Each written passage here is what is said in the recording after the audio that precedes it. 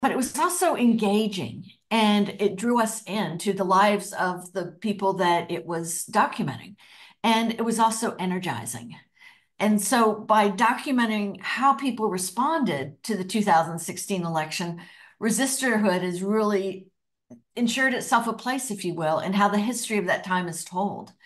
And we need to tell women's history from the lens of women and that's not something that always happens. And so Resisterhood definitely did that as it followed six diverse Americans as they fight for social justice on the streets, as well as in the halls of power. And over the course of two years, we get to see how they work to protect their rights, our rights, and inspire others to join in this movement. And from a filmmaking perspective, one of the things I really appreciated was they captured the broad strokes, the context of what was happening, as well as the personal, unvarnished impact on the people who were engaged. And that to me really showed the strength and the courage of these women. And, you know, it's not just a story of the past, of something that happened and the hope and the resistance in modern American politics, but it really offers a blueprint for how we can move forward, how we need to move forward, frankly, in this time and, and in whatever lies ahead. So because of all of this and far more, I'm very proud to present the 2024 Women's Voices Now Film Festival's Best Emerging Filmmaker Award for Documentary Feature by Cheryl Jacobs Crim. Thank you so much, Cheryl, for sharing your film with us. He had the audacity to ask, why couldn't I vote for him? What did I have to lose? Everything. We the people have some power. Recently, someone looked at me and he said, Hey, you lady from ISIS, get out of our country and leave us alone. I feel so bad now that I have to take my scarf off when I'm driving my car because I'm scared about my life we have to keep together. We have to keep talking. We have to keep fighting. We have to keep inspiring each other and reminding each other what's at stake. Mr. Speaker, I will not be here or outside at the inauguration ceremony. The event I'm going to is the Women's March on Washington. Thank God to the women for having invited and called us all together. To me, it's like a very simple message. You're not alone.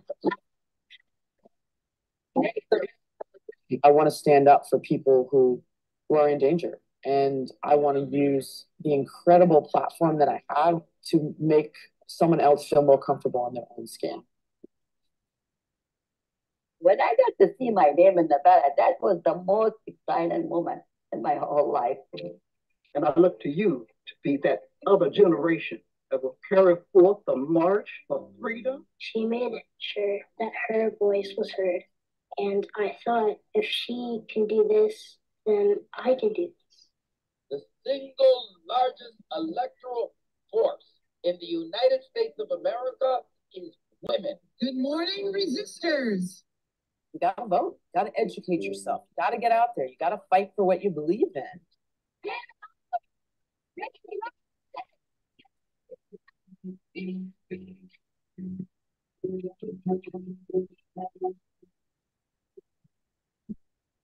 There's an incredible amount of opportunity now for all of us to rise up and to really stand for something. Rise up! Let's march on Washington! Our footsteps and our voices will be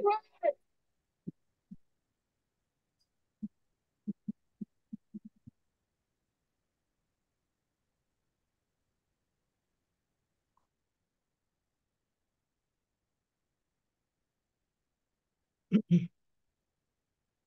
Wow. oh, thank you so much. This means so much to me. I, I, I, um, I have to, to gather my wits. Um, you talk about the unintended consequences of women as we're, as we are advancing. And we had the audacity in 2016 to put up a candidate who had arguably the most, most experience ever to become president. And she was beaten uh, potentially and what we got was donald trump. And um, i i didn't know what to do when that happened. And i thought as a as a filmmaker i just have to go out and start talking to people and for feeling how they're feeling. And I, I it turned into a feature film. It is my first feature film, and I'm I'm I'm so proud of this, and I'm so honored because this film we need today more than we did uh, in the last election. Our country is is in a really bad place right now. We all have to make our voices heard. This film, the wonderful subjects in this film, show us how we will be able to uh, keep our democracy. Follow the women in the film. Stand up. Make your voice heard. Go get arrested. Go march. Start an organization. At the very least, vote. Vote and get everybody that you know to vote. It's so important. And again, I'm I'm so honored and so thrilled and and so surprised. Thank you so much. And I cannot tell you how important our voices now are. So thank you so much to Women's Voices Now. I'm I'm I'm very honored. Thank you so much, CJ. We're really, really grateful that you were able to join us. And um, what you said is really poignant. The film is more valuable now um, than ever, truly. So thank you for making such a historical document for us um, and a reminder of what we're fighting for.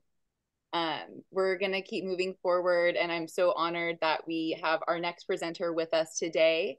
Um, Ale Velasco was a member of a our Girls Voices Now team for several years and what you need to know about our Girls Voices Now team is this is a crew of people dedicated to helping youth filmmakers make social impact documentaries. Um, our program is five weeks over the summer, and we create an incredible collection of documentaries led entirely by these astounding youth filmmakers. And Ale was in our program for three summers with us, helping shape um, these incredible films. So we're so honored that she's able to be here with us today to help present the award for Best Creative Short Documentary. Ale? Thank you so much, Chelsea. Hi, everyone. I am so happy to be here. Um, I miss everyone at Women's Voices Now, and I miss Girls Voices Now so much. It's it was it's the best thing you can do in the summer. So I would totally recommend to go to um, this year if it's still open. It would be amazing.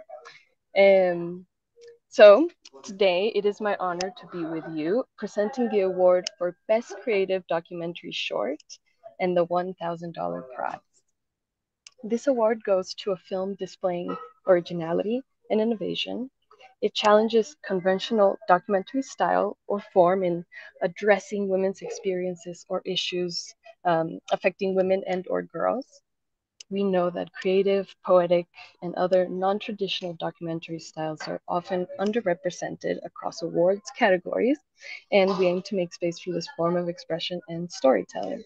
Um, it's a good thing that we made this space because this year we had a number of films nominated and in discussion by our jury panel in this category. Um, interestingly enough, many of the films were about similar issues. Uh, this goes to show the power of creativity in allowing us to discuss familiar things in new ways. Um, the jury called the winning film an emotional portrayal of the illegal abortion experiences. The archival audio tape recordings paired with reenactments of the scenes narrated in the tapes gives this a docu-fiction feel. Uh, with great work done to seamlessly edit and assemble the staged scenes, archival photographs, and newsreels, the film was a standout.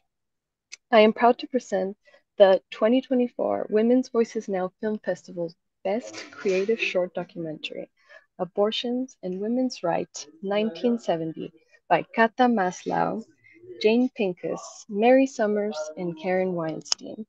Please join us to say a few words after the trailer is over.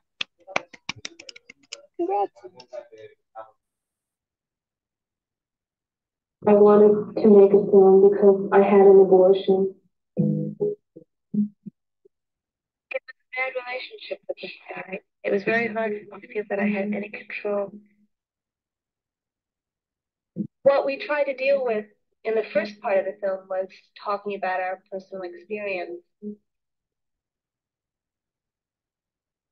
because I had given up one baby, and I got pregnant again. I, I couldn't stand it.